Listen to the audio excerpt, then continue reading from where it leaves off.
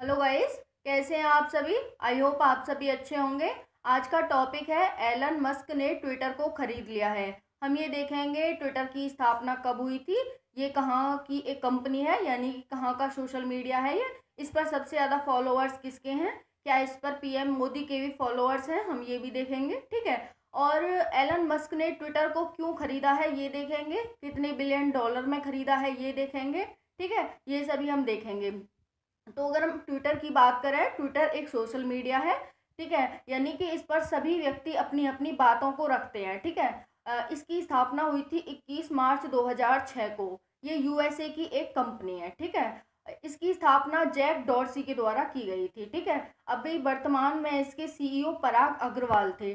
But अभी क्या हुआ है? अब ये खरीद लिया गया है एलन मस्क के द्वारा। एलन मस्क को आप जानते ही होंगे टेस्ला के मालिक हैं एलन मस्क ठीक है? और इनके द्वारा इसे खरीद लिया गया है, ठीक है? ट्विटर को।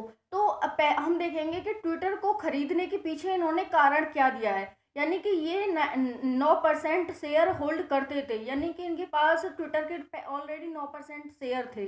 बट उसके बाद भी इन्होंने इन्होंने ट्विटर को ख़रीदा तो इसके पीछे क्या रीज़न था?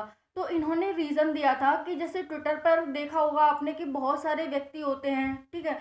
वो अपनी बात रखते हैं उस पर। तो ट्विटर क्या करता था? उनको, जो उसको बात अच्छी नहीं लगती थी, यानी कि वो किसी नेता को फॉलो करता है ट्विटर किसी भी व्यक्ति को फॉलो करता है और उसके खिलाफ किसी व्यक्ति ने बोल दिया कुछ भी तो वो उसे डिलीट कर देता था। यानी कि ट्विटर अपनी मनचाही बात को ही उस पर रखवाना चाहता था।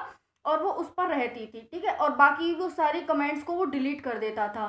तो ये जब बात एलन मस्क के पास पहुँची, यानी कि जब उन्होंने देखा कि इस तरह से करता है ट्विटर तो उन्होंने सोचा कि मैं इसे खरीद कर, यानी कि जितने बिलियन डॉलर में भी, जितना बढ़ा चढ़ा के मुझे मिलेगी, मैं खरीदूँगा इसे और इसे प्राइवेट कर दूँगा। प्राइवेट का मतलब है कि मैं इसका मालिक रहूँगा और मैं मतलब कोई भी कि, किसी को भी कुछ भी बोलने की इस पर आज़ादी होगी मैं उस पर हटाऊँगा नहीं कुछ। यानी कि मैं अब अभी क्या था अभी ये एक सरकारी कंपनी थी इस तरह समझो। क्योंकि इसके जो शेयर थे वो जनता में एक तरह से बटे हुए थे, ठीक है? यानी कि इसका कोई एक मालिक नहीं था, पूरे शेयर थे वो बटे हुए थे, ठीक है?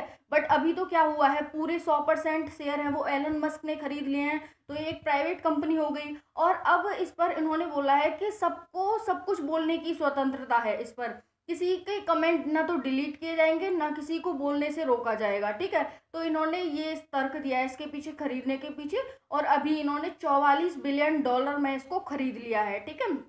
यानी कि चौवन पॉइंट डॉलर प्रति शेयर इन्होंने खरीद लिया है, ठीक है?